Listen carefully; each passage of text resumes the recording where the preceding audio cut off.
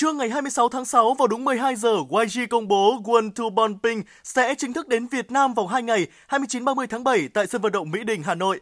Thông tin ngay lập tức gây chấn động truyền thông, cộng đồng Blink Việt Nam đứng ngồi không yên với lần đầu tiên nhóm nhạc nữ toàn cầu đến Việt Nam biểu diễn.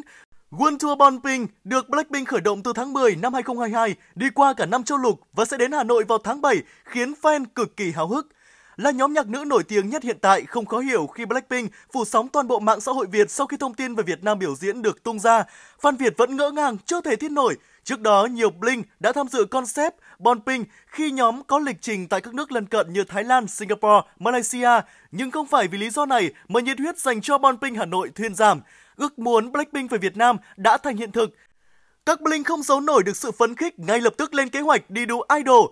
Theo những thông tin hiện tại, cổng bán vé Bonping sẽ được mở vào 12 giờ trưa ngày 7 tháng 7. Giá vé chưa được công bố. Chủ đề được quan tâm nhất bây giờ chính là mức giá công khai của show diễn tầm cỡ thế giới tại Việt Nam. Bên cạnh đó, thời gian mở bán khá gấp rút, có hẳn hai đêm diễn mà bán vé chỉ tầm 2 tuần đổ lại đến show, khiến nhiều khán giả lo ngại Blackpink sẽ không kịp show ao vé tại Việt Nam.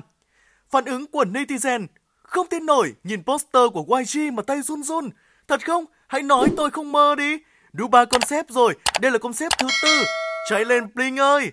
Nhưng mở bán vé hơi gấp nhỉ? Sợ với sức mua thì không show out. Bán mở mà có hai tuần vậy trời. Tò mò giá vé ghê.